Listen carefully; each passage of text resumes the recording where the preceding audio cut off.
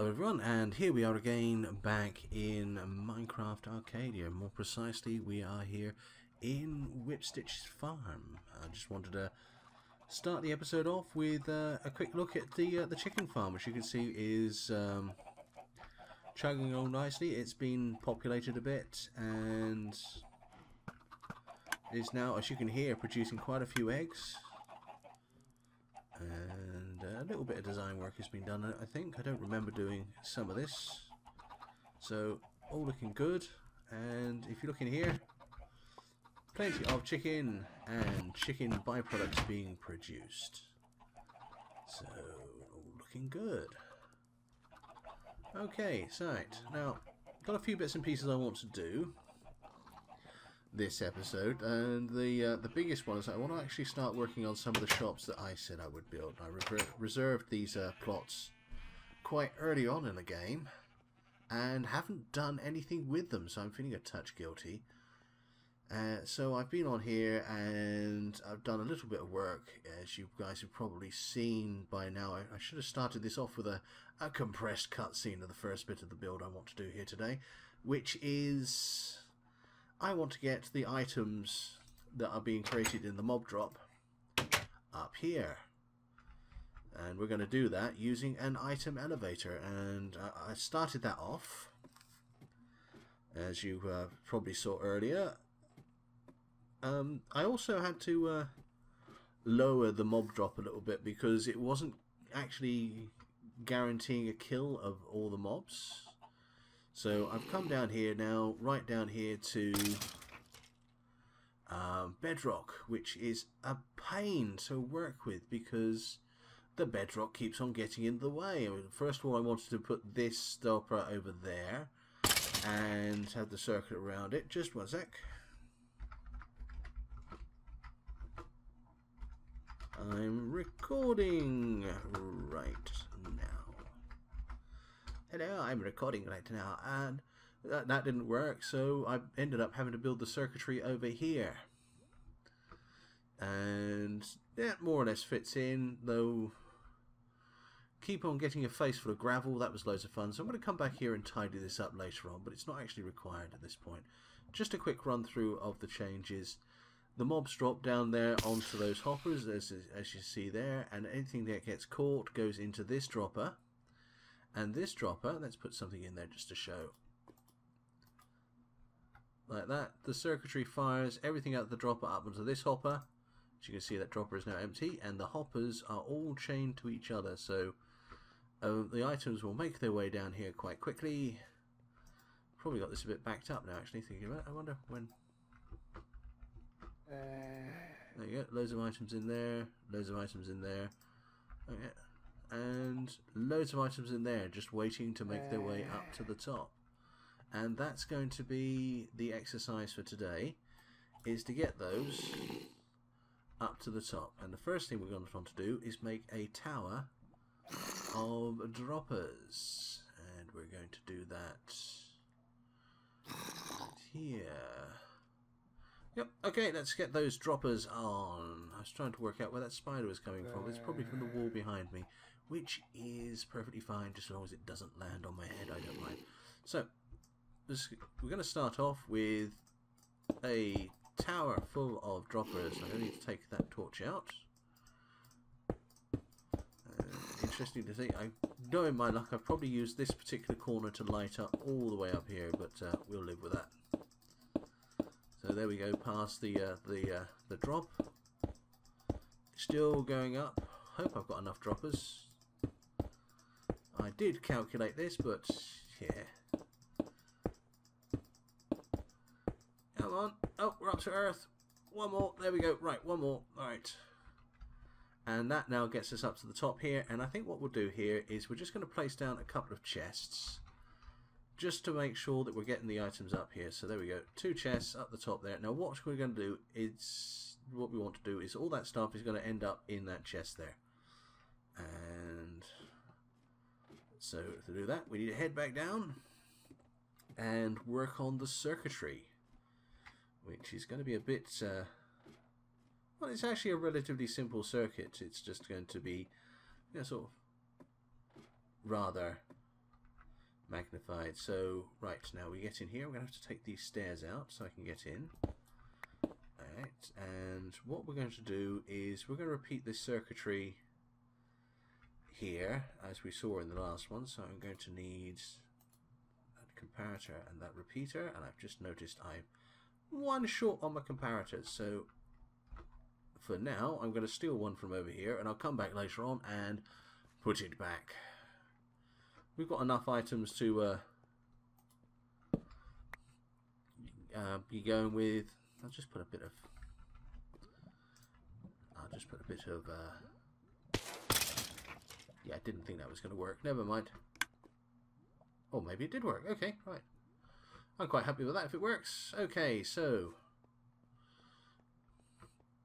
Alright, now, what we want to do is we want to do the, the whole looping signal thing again, okay? Which is, we need to send um, a signal to the... When the dropper has an item in it, we need to send a signal to the dropper saying, hey, I want you to uh, um, send an item up. So, we'll start off with that.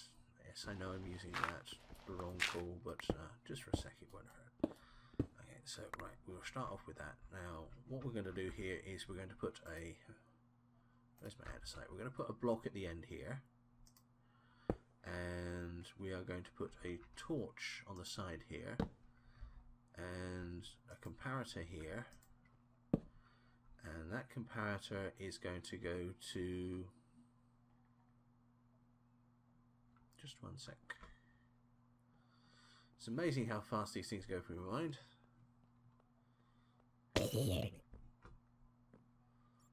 Yep, stone. Okay, yep, that's right, correct. Okay. I was starting to doubt myself.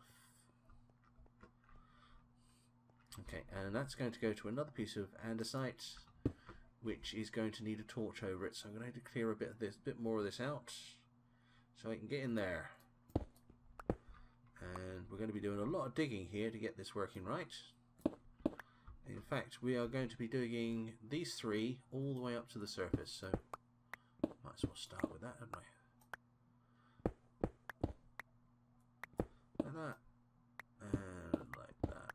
Okay, so they will be working all the way up to the surface, because what we need to do here is we need to put a torch in there, and then we're going to stagger this, uh, this up to the surface by uh, putting uh, that there. And then we're going to put another block here with a torch here and another block here with a torch here and another block here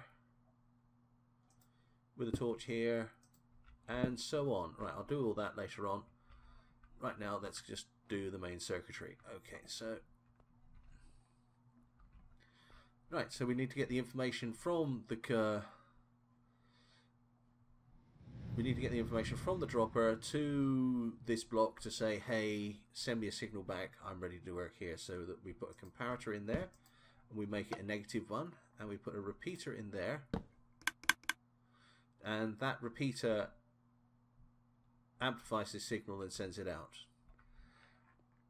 But uh, of course, we need to turn that now off. That's fired once, so we need to set this signal, this signal going back uh, to the comparator to say, okay, right, you've sent that signal out once, we need to send it out a second time, and we do that like this. We put that there, we put a repeater there, and we put a piece of redstone there. So as you can see, that signal is now going around, and if we look at this top one here, items are going in, and they're getting stored in this hopper dropper here, because so far we haven't got the signal up any further and that's what I'm going to do now and I'm going to do it off camera and I will see you all in a moment. Right, here we are. Uh, we have got the, uh, the the droppers all wired up all the way up to the top there and I've got a few items in my inventory. What I'm just going to do is I'm just going to stick them into this hopper here and we can just watch it send this stuff up to the top. All the blinking lights all the way up. I think that's going to look really nice. So we'll just follow this up here, just make sure it's all working. And away it goes. Linking all the way to the top. Don't know why I did that voice. I just felt like doing that voice. I have no idea why I did that voice. And at the top, let's have a look at the chest. And yeah, that's starting to very nicely fill up with stuff. Okay, now there is a drawback to this particular uh, elevator method, okay, which is the fact that we are just using a signal at the bottom. So that's uh, that one signal at the bottom says, "Hey, I've got an item." Let's all fire an item up to the top. So that what's going to happen here is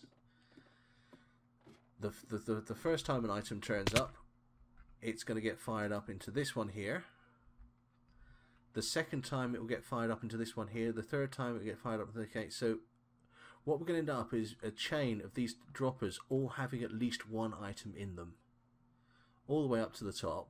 So if you imagine that's 60, that well actually that is 60 droppers high. Uh, it's only going to be when the 61st item comes in the bottom here that we're actually going to start getting items out the top. But given the fact that this is, as long as it's actually producing, it's going to be producing dozens, if not hundreds of items a day, that's not really going to be a problem. That's going to, it just means it's going to take a while for the items to process through the system, which is perfectly fine for this farm. But if you actually wanted this stuff to uh, to get to the top immediately, this is not the one for you. But uh, I, I'm quite happy with this, and it actually looks really pretty when it's running as well. So yeah, there's a lot of uh, a lot of nice stuff to this. I'm I'm quite happy with this, and items are getting to the top. They are ending up in this chest here. By the looks of it, yeah, I think this has actually stopped firing items up now. Uh, so it's going to take a little while for the stuff I put into the bottom to actually make its way to the top, but that's not the end of the world. So there we go, uh, an item elevator. Now, the next step for this is going to be building a sorter for that item um, to get it the different stuff into different chests. So I want, you know, I want the, uh, the bones to be separate chests from the rotten flesh to the string to the gunpowder. And finally, a, a, a final chest saying, hey, this is everything else, help yourself and then, and that's going to be the fun bit, I'm going to build a shop around this. So I'm looking forward to doing that. But I don't really have time to do it today, unfortunately. So we're going to stop there. And there we go. Very nice, easy, simple item elevator. You can make it 2 high, you can make it 60 high, you can make it 256 high. It's just going to work, and it works very easily. So, notice this when I logged on today. Um, another glass pyramid. Quite like glass pyramids, they look nice.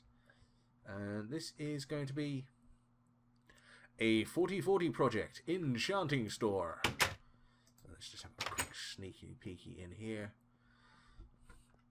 4040, famous for his fortifications, seems to be branching out a little bit and uh, making something new. So I'm presuming this is going to be um, an enchanting services store of some description. Probably going to do the enchanting down here. We'll see. Looking forward to this. 4040 does some good builds, so that's going to be fun to see. And of course, we have Farfetch'd there. I have an idea for Farfetch'd. I think you guys are going to like it. We'll have to see. So that's that there. And let's have a quick sneak peek around, see if there's anything new. If there isn't, I'm going to cut away now. If there is, I'll show you it when I see it. Okay, I don't recall seeing this before. What do we have here?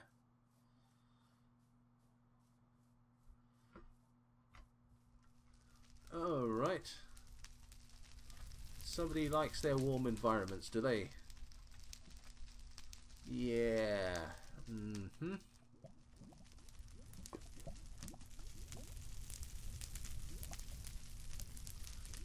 I'm taking this is going to be somebody's home.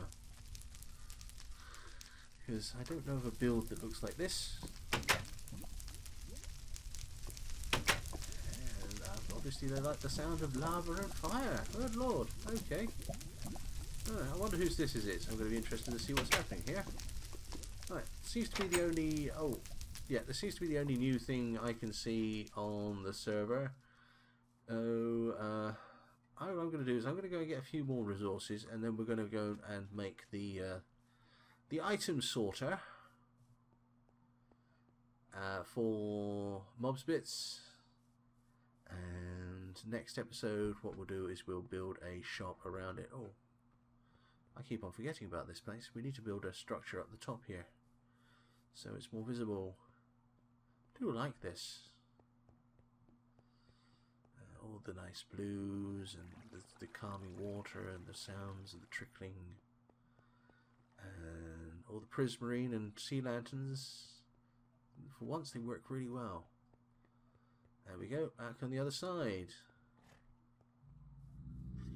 Right, okay, I'm going to cut out at the moment, for the moment, and I'll be back in a second with a load more resources and we shall build our sorter.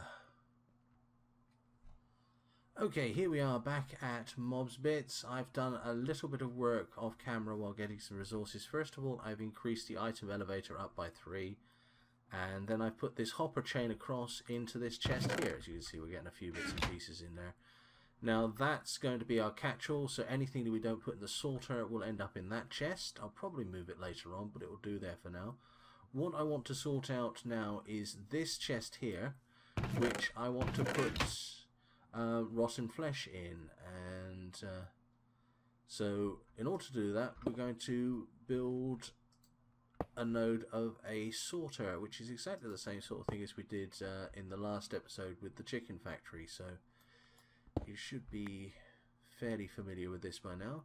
Uh, and to do that, we just build a very simple structure behind uh, this, which is looks like this. Okay, so that's the structure in place, and then we want to put a bit of circuitry in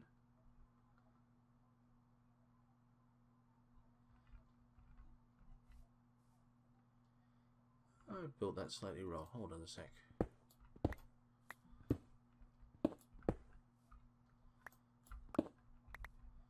So, actually, we want to build it like this. There we go. That looks right.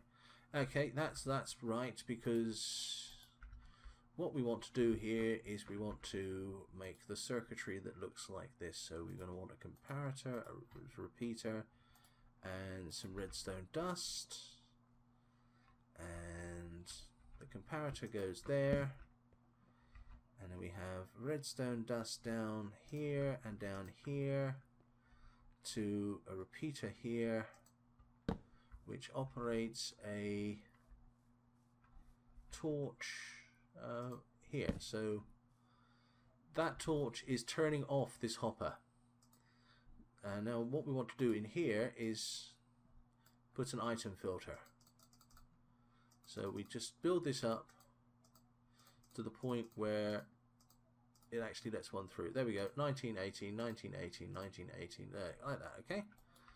So what's happening here is that uh, there is enough uh, enough rotten flesh in that uh, sorter for this comparator to light up and just about send a signal through to this repeater. And that last piece of rotten flesh when it drops in sends the signal through which turns this torch off which allows this hopper to push something through. So uh, the items fall through that way and then they end up in here along with a few other bits and pieces because um, stuff was being filtered through while I was playing around but uh, now we know um, you know, if we put let's put this string in here it will not end up in here. It will, in fact, end up in here. That's exactly what we want. And if we go and put some rotten flesh in, oh, do you see that piece of gunpowder flash through there? Uh, put the rotten flesh in like that. It ends up in this chest. So there's our rotten flesh chest. Ooer. And what we're going to need to do is we're going to need to repeat that for uh, bones, for webs, and for spider's eyes. And then finally, I'll have to extend this a little bit longer. Finally, we're just going to have this last chest which says, Here is everything else, help yourself. And that is the circuitry behind Mobs Bits. So I'm going to finish this off between episodes. And next episode, what we'll do is we'll spend a bit of time and actually do a design around this and try to get this looking nice. So until then, I've been Simon Parsons. This has been Minecraft Arcadia. Thank you and good night.